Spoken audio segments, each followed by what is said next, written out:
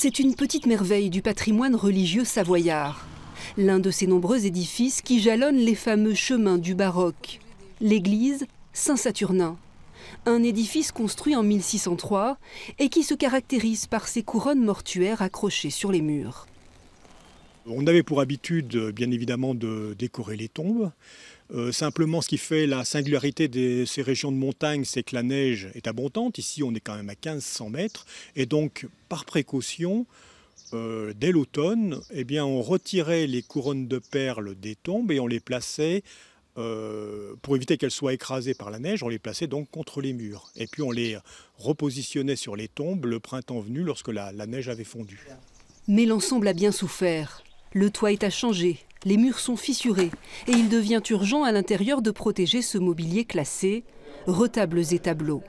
Le loto du patrimoine vient donc à point nommé pour Saint-Sorlin d'Arve. Malgré les subventions, ce village de 350 habitants ne pouvait envisager tous ces travaux.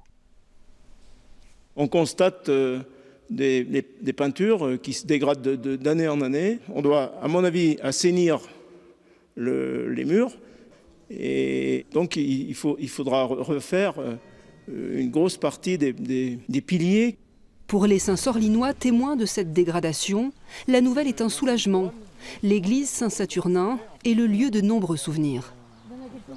On y a fait quand même notre catéchèse, notre baptême, notre euh, communion, notre mariage.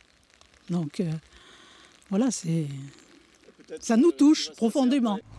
Vendu 3 euros, les grilles de ce second loto du patrimoine sont déjà disponibles. Le tirage se fera le 14 juillet, puis à partir du 2 septembre, deux offres de tickets de grattage seront également proposées.